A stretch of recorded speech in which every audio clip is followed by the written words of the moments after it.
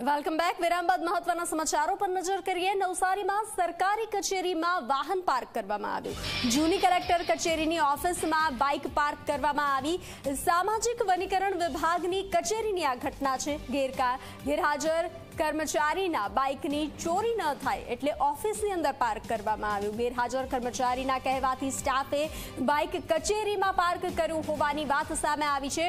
ઓફિસમાં મનમાની કરનાર અને ઓફિસને પાર્કિંગ બનાવી દેનાર કર્મચારી સામે કાર્યવાહી થશે ક્યારે તે એક સવાલ છે.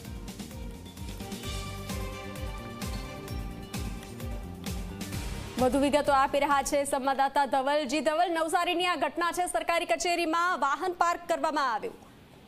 જે બનશે આ બહુ અલગ ઘટના સામે આવી છે કે ગેરહાજર કર્મચારીની બાઇક ચોરાઈ ન જાય એ માટે કર્મચારીએ પોતાની ઓફિસ સ્ટાફને ફોન કર્યો હતો અને ફોન કર્યા બાદ એમની જે બાઇક છે એ કચેરીમાં પાર્ક કરવામાં આવી. કારણ કે આ કચેરી જે છે એ ગ્રાઉન્ડ ફ્લોર પર ઉપર છે અને આ બાઇકને જે છે એ કચેરીમાં મૂકવામાં આવી હતી. સાંજના સમયે પાર્કિંગમાં પાર્કિંગ સ્થળ બનાવી દેવામાં આવી કચેરીને અને એમાં બાઇક મૂકવામાં આવી હતી. આ સમગ્ર ઘટના મુદ્દે હાલમાં તો જે છે, કર્મચારી કોણ છે, એનું એ સામે નથી આવ્યું, આપણે જાણી નથી શક્યા, પરંતુ આ ઘટનામાં જે છે એ પગલાં લેવાશે કે કેમ, એ એક સવાલ છે.